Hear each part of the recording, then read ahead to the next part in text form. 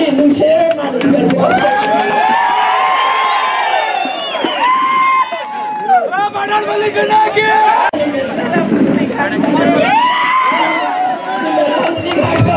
ನೀವೆಲ್ಲ ಜೈಶಾಲಿ ಮಾಡಿ ನಿಮ್ಗೆ ಸೇವೆ ಮಾಡಿಸ್ಬೇಕು ಬಡವಲಿಗಳಾಗಿ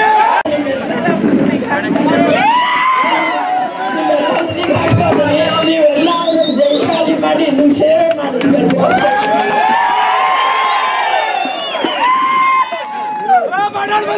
be